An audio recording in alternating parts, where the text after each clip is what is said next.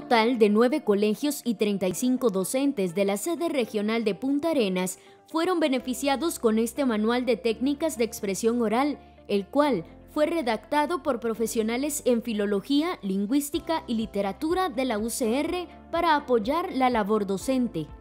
La necesidad de crear el manual surge a raíz de que sobre la expresión oral no hay escrito sistemáticamente nada, en realidad.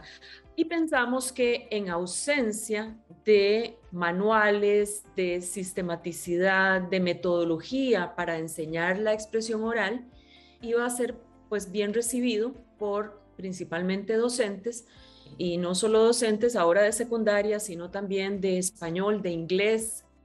Este proyecto, adscrito a la Vicerrectoría de Acción Social, aborda diferentes temáticas y actividades que facilitan el proceso de enseñanza-aprendizaje. El manual empieza con una explicación, ¿verdad?, de lo que es la expresión oral y tiene distintas técnicas. La primera es una exposición individual y después abarca diferentes técnicas grupales como el debate, el simposio, la entrevista, el cineforo, la lectura teatral. Todas ellas tienen una estructura, ¿verdad? Donde te dan los pasos a seguir para que sea más fácil y tenga esta característica de manual, que sea tanto sencilla para el profesorado como para el estudiantado seguir. Los profesionales encargados desde el 2019 venían trabajando en este proyecto en los diferentes centros educativos puntarenenses.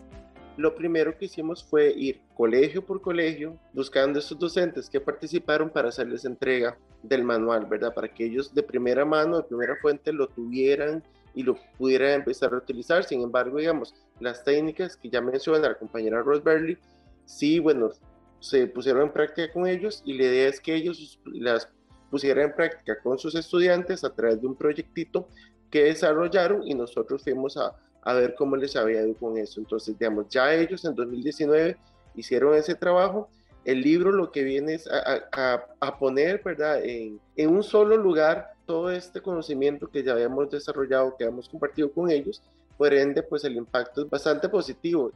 Si usted es docente y le gustaría accesar a él, puede solicitarlo escribiendo al correo editorial.cdpacifico.ucr.ac.cr.